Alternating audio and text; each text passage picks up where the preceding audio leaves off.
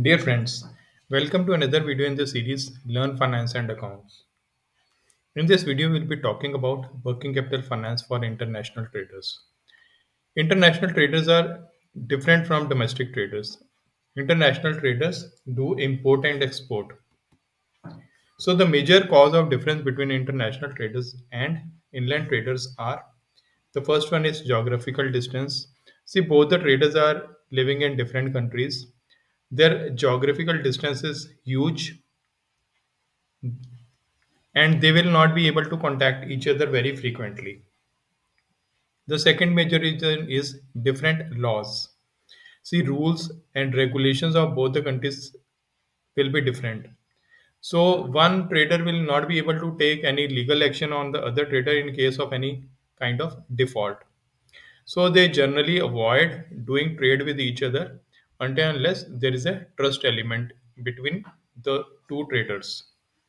And the third major difference is currency difference. See, when a trader, one trader is in USA, the other trader is in India. So the person who is in USA, the trader who is in USA is using dollars, and the person who is in India is using Indian rupees. So there is a currency difference between the two traders. So these three major differences in domestic as well as international trade are a deterrent because of which two traders who are lying in different countries they cannot trade with each other. So working capital finance for international traders we'll be talking about this. So working capital is the amount of funds necessary to meet the cost of operating the enterprises. Working capital means the required capital for day-to-day operations of the enterprise so in case there are two traders a trader is doing import and export And before doing import and export, before doing international trade, that trader has to take IEC, which is known as Importer Exporter Code. This is mandatory. An importer exporter code is required for every kind of exporter or importer to India. No export or import shall be made by any person without obtaining IEC. IEC is, is issued by DGFT DGFT refers to Director General of Foreign Trade and DGFT is under Ministry of Commerce. So banks and other financial institutions provide working capital finance for international traders which is in the form of pre-shipment finance and post-shipment finance. Now what are these? We are going to discuss these in detail. So we can discuss this in detail by taking an example. There are two traders one is Rakesh. Rakesh lives in India. And there's another person, John. John lives in USA.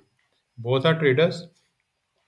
John is selling shirts in USA and Rakesh is manufacturing shirts in India.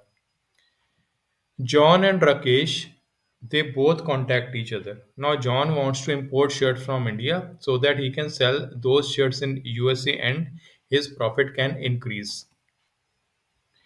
Here Rakesh will become exporter and John will become importer. John sends an order to Rakesh for supplying 10,000 shirts. Rakesh requires money to manufacture shirts because money is required to purchase cloth, money is required to purchase buttons, and to pay tailors. So, this money is known as short term requirement, which is working capital. Now Rakesh requires this money, so he goes to his bank with the order received from John to get a loan. The bank agrees to provide the loan or finance, and this loan will be called pre-shipment finance. Why pre-shipment finance? Because this money is required by Rakesh before the shipment. What is shipment? Shipment is sending the manufactured goods to the other trader to the importer to John who is living in USA.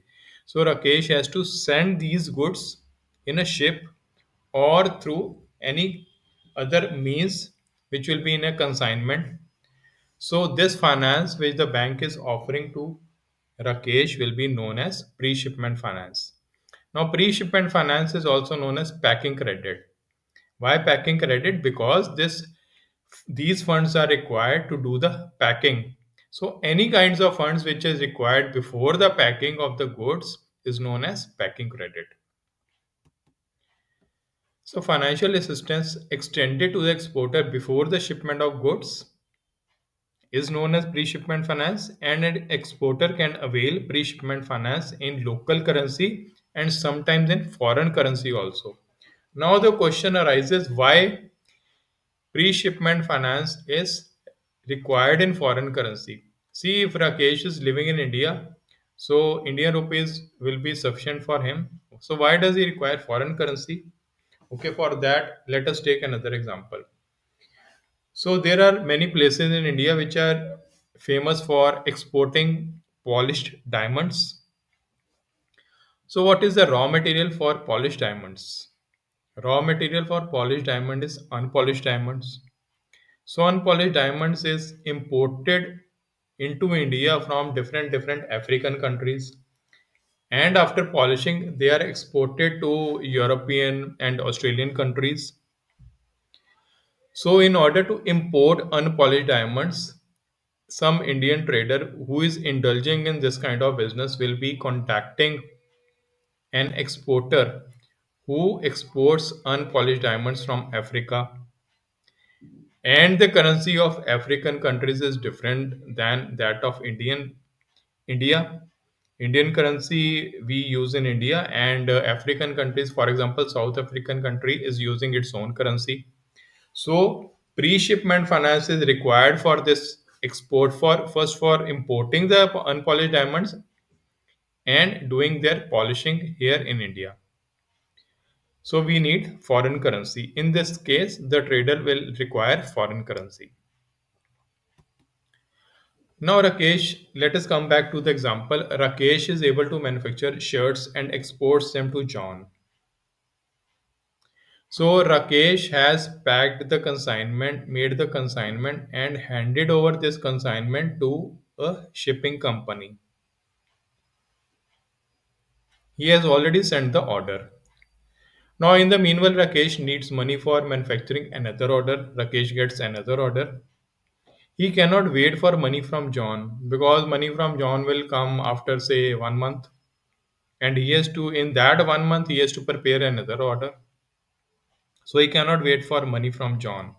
He requires more money for the second order. Now, what does he do? He goes to the bank again and tells the bank that he requires more money.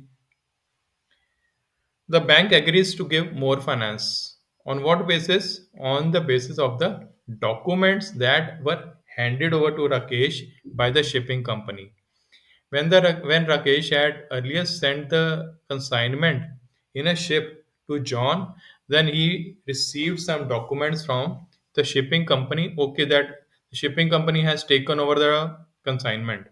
So they had given a receipt to Rakesh that we have taken your consignment and your consignment will go to John. This is very similar to uh, the process, the POD that we get in case of uh, we are sending a courier, we get a POD, proof of delivery, that we have given that consignment or courier to to a shipping company to a company who is sending our courier to the logistic company. Now the bank agrees to give more finance. On the basis of what? On the basis of those shipping documents.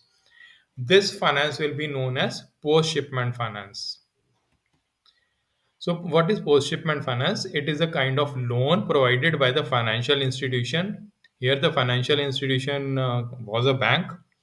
So, to an exporter on the basis of shipping documents. So, friends, this was all about pre shipment and post shipment finance. We hope that you liked the video. Please press the like button, press the bell icon to subscribe to our channel so that you can get regular updates and know about different topics that we discuss. Share this video with your friends. We'll meet in, in another video to discuss another topic. Till then, bye and take care.